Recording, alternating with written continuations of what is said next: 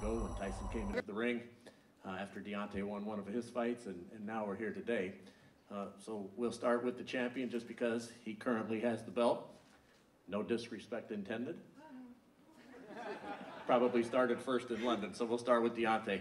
Uh, Deontay, do you feel as though uh, this is the best fighter and the toughest fighter that you will face or have faced? I think I, hello? I'm good. I think I've faced the the uh, the best, one of the best in the division. Um, I do think he's. Um, let me rephrase it. I fought one of the best, and I think I'm fighting the next best. Is the next best that's in line. You know, out of the heavyweight division, and uh, I do think he's tough. You know, one thing about Tyson, he's mentally tough. You know, he's like you say, he's the Gypsy King. And if you know about Gypsy, you know they're traveling people and they're, they're fearless people. And um, that's why he's the perfect opponent for this situation, for this occasion of bringing the heavyweight division back. So when I knock him out, I can say I, I've knocked someone that was fearless. Everybody's laughing at that because they know it's a joke, right?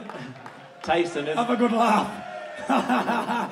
Says a man with some pigtails in his hair. How is ever he going to beat me, please? Tyson, is there is